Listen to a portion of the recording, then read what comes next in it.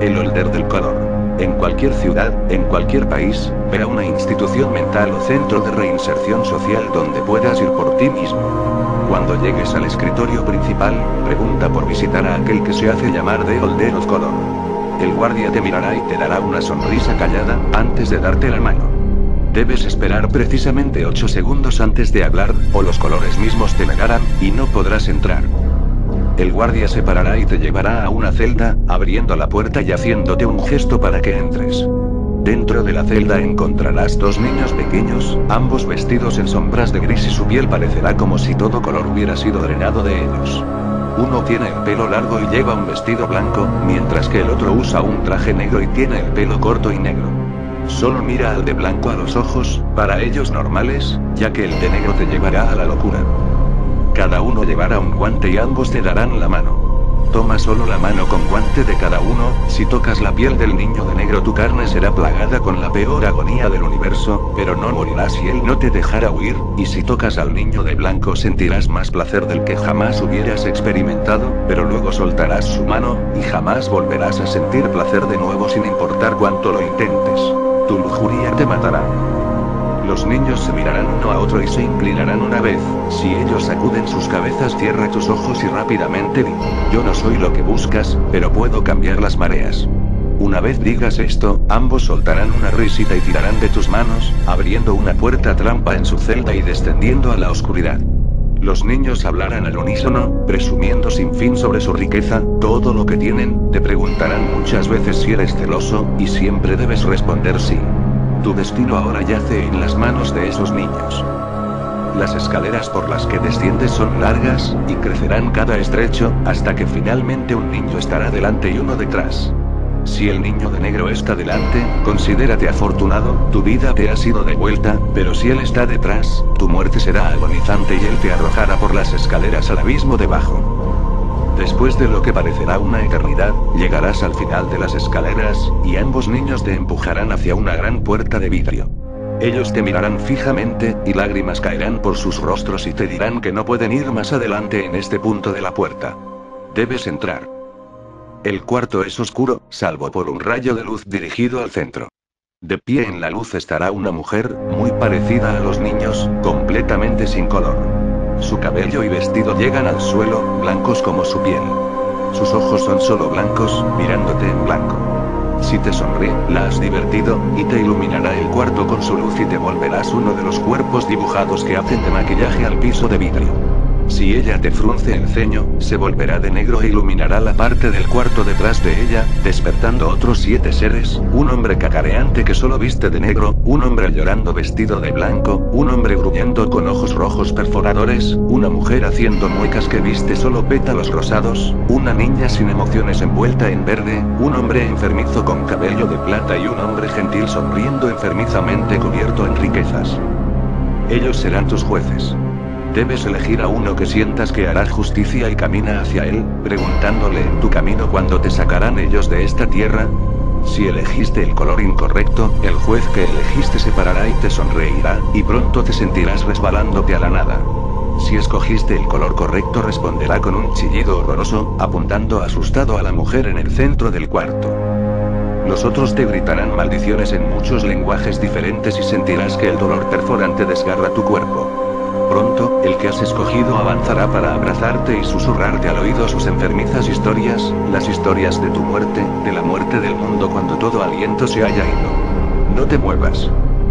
Las maldiciones se detendrán y el cuarto estará iluminado, y los siete mirándote fijamente. Donde la mujer estaba antes, habrá una pequeña pluma, como de una paloma, cambiando su color continuamente. Esta pluma es el objeto 24 de 538 con ella, puedes tomar lo que era de ellos para dar. El holder de la creación. En cualquier ciudad, en cualquier país, ve a cualquier hospital y pregunta por visitar a aquel que se refiera a sí mismo como The Holder of Creation. La empleada te mirará a los ojos, horrorizada, antes de ponerse de pie. Ella y solo ella te llevará a la sala de maternidad y te empujará a una puerta cerrada, por la que te deslizarás. Una vez dentro de la puerta, verás dos más una a la izquierda y otra a la derecha. Debes escoger la dirección que acostumbres, esperando que tu destino guíe correctamente a tu mano. Una vez llegues, toca la manilla. Si una luz atisba por debajo de la puerta, debes entrar. Si no, debes correr al otro cuarto, lo más lejos que puedas. Duerme donde caigas y no creas en nadie. No entres a la luz solar. Busca las sombras y reza a cualquier dios porque pases desapercibido. Si la luz es emitida de debajo de la puerta, o si por algún milagro evades la captura después de tu error y regresas a elegir una vez más, entra cautelosamente. El cuarto parece estirarse al infinito. No intentes comprender su tamaño o forma, muchos hombres más grandes que tú se han vuelto locos en el intento. Pasando por la inmensidad de este cuarto están los cuerpos de los nacidos muertos y los fetos de los no nacidos. Aquellos capaces de hacer sonidos parecerán perforar la fábrica de tu conciencia con gritos, los que parecerán ser audibles y un producto de tu imaginación. En el horizonte estará una madre, algo más que una niña, amamantando un bebé cubierto en una manta andrajosa a su teta. Una exanimación más cercana del infante succionador te dejará ver su verdadera edad. Por su expresión parece saludable y mimado. Una mirada eterna y conocedora te asegura que esos ojos han olvidado más de lo que han visto. Acércate a la madre calmadamente. Si la sobresaltas e interrumpes el alimentado, tu única esperanza es susurrar. No deseo molestarte a ti, ni a tu hermoso hijo. Si la has apaciguado, posiciónate en un lugar para ver al bebé a los ojos. Una vez lo hagas no debes romper el contacto ocular por miedo de perturbar al infante y darle tu propia perdición. Solo puedes preguntar una vez y solo una pregunta para qué hemos sido creados. El bebé se moverá y te envolverá con su tela andrajosa, cegándote y rasgándote miembro por miembro. Aún no debes reaccionar al dolor o te arriesgas a nunca regresar a tu forma original. Si puedes soportar la agonía, te mirará a los ojos, y verás el comienzo del cosmos. Todas las cosas desde la creación de la existencia serán mostradas frente a tus ojos. La verdad del origen de los buscadores será traída a la vida, y si no te vuelves loco por esta verdad, sentirás el calor de este conocimiento iluminarse en ti. Este calor crecerá hasta que el dolor de las quemaduras se exceda y tu carne se haga mil tiras. Sentirás tu cuerpo fundirse lejos, ardiendo en la nada, solo ceniza. Al tope de tu dolor y angustia, si te las arreglaste para mantenerte estoico, cerrarás los párpados que ya no tendrás, abriéndolos para percatarte que has regresado afuera, exactamente un día antes del incidente. En tus manos encontrarás un manuscrito andrajoso, el texto que parece preceder a la existencia. Este manuscrito es el objeto 25 de 538. Este libro anhela regresar a los otros objetos a eso, y entre su conocimiento críptico está cómo hacerlo. El holder del tiempo. En cualquier ciudad, en cualquier país, vea una institución mental o centro de reinserción social donde puedas ir por ti mismo. Cuando llegues al escritorio principal, pregunta por visitar a aquel que se hace llamar The Holder of Time. El trabajador actuará como si no supiera de lo que hablas, primero tomándolo como una broma, y luego amenazando con llamar a seguridad. Persiste lo suficiente, y te preguntará si quieres ver al doctor. Si dices no, serás asesinado instantáneamente. Muchos de los que han hablado a los orders eligen esto, ya que es la última piedad comparado a los horrores que podrías hacer frente. No hay otra salida. Si dices sí, serás bañado en una luz azul brillante. Debes permanecer perfectamente inmóvil, o si no serás canalizado fuera del tiempo, congelado en un instante y consciente de la eterna quemadura de la entropía, y por siempre experimentando cada segundo de tu caída en la locura en todo momento. Mantente inmóvil hasta que oigas un sonido, una mezcla etérea de música y metal. Irá incrementándose lentamente, el sonido y la luz rezumándose en tu mente y llevándote fuera de ella. Si sobrevives con tu salud intacta, oirás ese sonido por el resto de tu vida. Cuando el sonido y la luz se vayan, te encontrarás en un gran cuarto hecho de metal. Un hombre estará parado en el centro de él, y su apariencia y ropaje estarán cambiando constantemente. Hablará incesantemente, contando historias sobre cada tiempo y lugar en toda la existencia del universo. No parará de hablar hasta que le preguntes cuándo estarán juntos. Te mirará fijamente y sacará la mano a la vez que cambia de apariencias. Tendrás un sentimiento de enorme tentación de tomar su mano, pero la parte pensante de tu mente temerá a lo que aguardes si lo haces. Si tomas su mano, experimentarás cada una de sus historias como si las hubieras vivido, y en el milenio que pase, antes de que te libere, caerás en la locura. Después de su doceavo cambio en una nueva apariencia, su treceava vida, responderá tu pregunta, y una pequeña llave aparecerá en su mano. Esta llave es el objeto 26 de 538. Reza porque nunca encuentres lo que abre. El holder de la hambruna. En cualquier ciudad, en cualquier país, ve a cualquier morgue o hospital que puedas encontrar. Cuando llegues al escritorio principal, pregunta por visitar a aquel que se hace llamar a sí misma de Holder of Famine. El asistente te sonreirá y se callará oscuramente bajo su asiento, pero de cualquier forma ignorará tu pedido. Dile yo puedo saciar su apetito y levantará una ceja incrédulamente, pero se pondrá de pie para llevarte a un pasillo, antes de dejarte a tu suerte.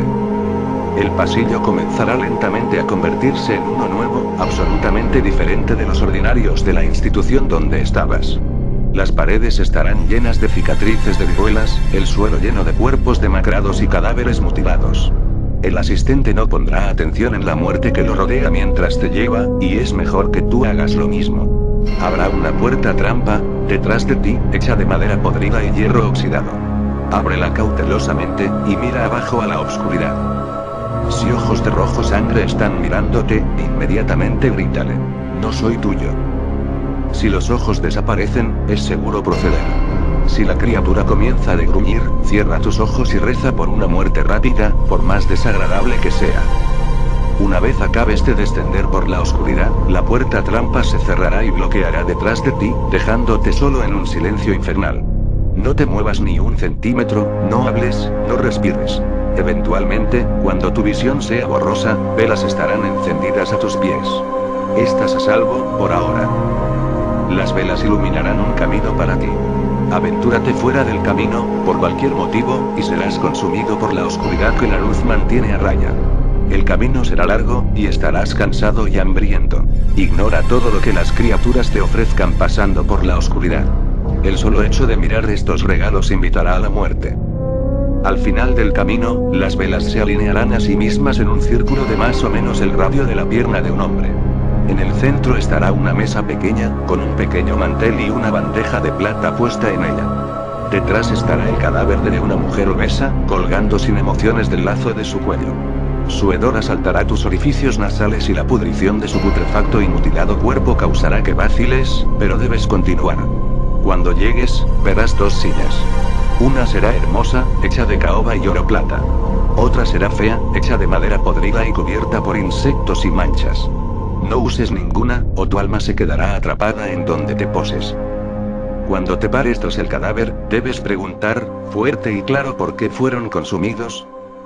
El cadáver inmediatamente alzará sus manos a su estómago, rajándolo y abriéndolo hacia ti. La herida sangrará saliva, los intestinos formarán filosas y malevolentes garras, y una lengua masiva hecha de sus intestinos colgará de su mandíbula.